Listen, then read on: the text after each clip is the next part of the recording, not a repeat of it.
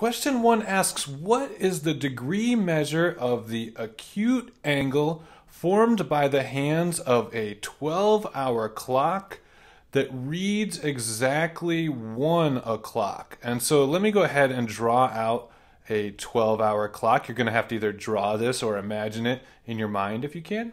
So here we have a clock, and at the top of the clock is a 12 that's you know midnight or noon at the bottom is a 6 for 6 o'clock.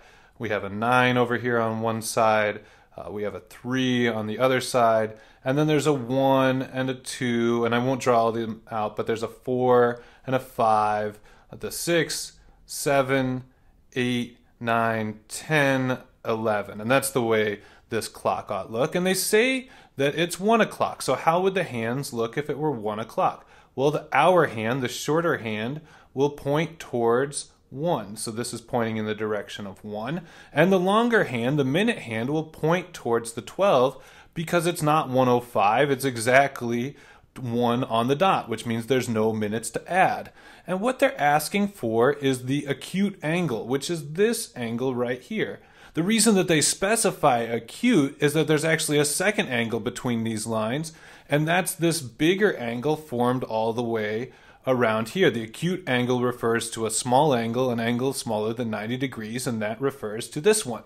So now the question really that we have is what is the angle between 12 and 1 o'clock? And I hope you notice that the angle between 12 and 1 o'clock is exactly the same, this angle, is exactly the same distance as the angle between 1 and 2 o'clock.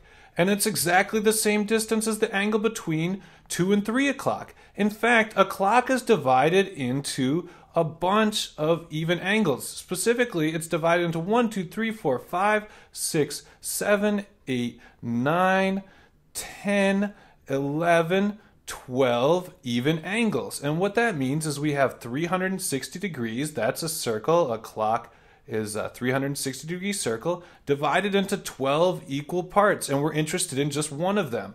So now let's pull out our calculator and figure out what that is. Here I have uh, the calculator app, so 360 degrees divided into 12 equal portions is 30 degrees, 30 degrees, and that is the answer B.